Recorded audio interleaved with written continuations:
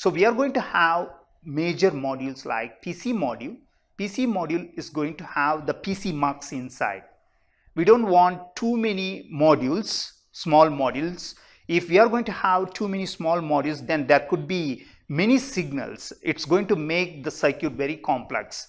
So to realize register transfer level, what we need to do? We need to consolidate the circuit something like this. So in this case, we are going to keep the mux and other logic gates within PC module. And this is instruction memory.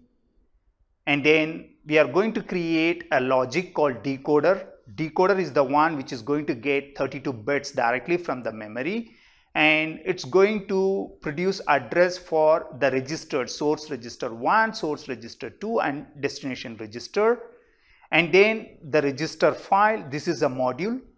It's going to have 32 registers. And then it implements read as asynchronous and write as synchronous. And there is a module called immediate generator.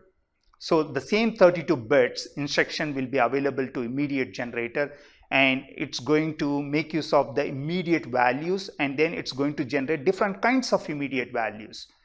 IMM B, IMM immediate, IMM S, IMM U. There will be different values based on the opcode.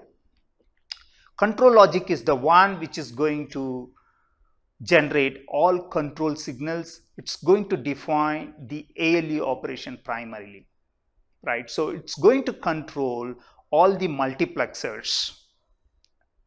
Now, if you look at the ALU, whatever the mux we had, IR mux, now that has become part of ALU, right? So all the immediate values go to ALU. It has got the mux internally. So it's going to choose the value between source register and immediate value. That's how the ALU is going to perform different kinds of operation here you can see the mux select. The mux is actually part of ALU module now. And this operation is defined by control logic, ALU operation. And this ALU produces different kinds of outputs, 32 bits value. If it is going to perform operation between source registers RS1 and RS2, each register has got 32 bits value. Sometimes it could perform operation between source register and immediate value. In that case also it's going to be 32 bits value. But in case of branch instruction, the result is going to be boolean. So it's going to be single bit either true or false. So BT is always going to be true or false.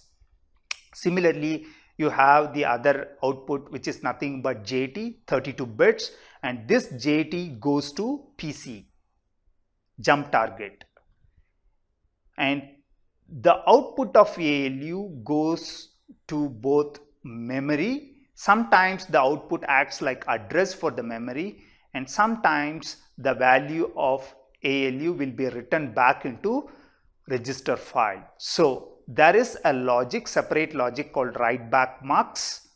The select signal write back mux is controlled by control logic and based on the select it's going to choose the values the destination register could be PC plus 4 or it could be PC plus IMMU or it could be only IMMU or sometimes it could be the output of arithmetic logic unit. There are different possibilities.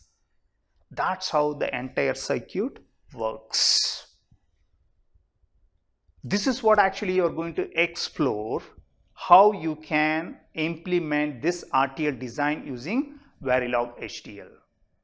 And then once you implement the RTL, then it will also explore how to verify the RTL design using languages like System Verilog and methodologies like UVM.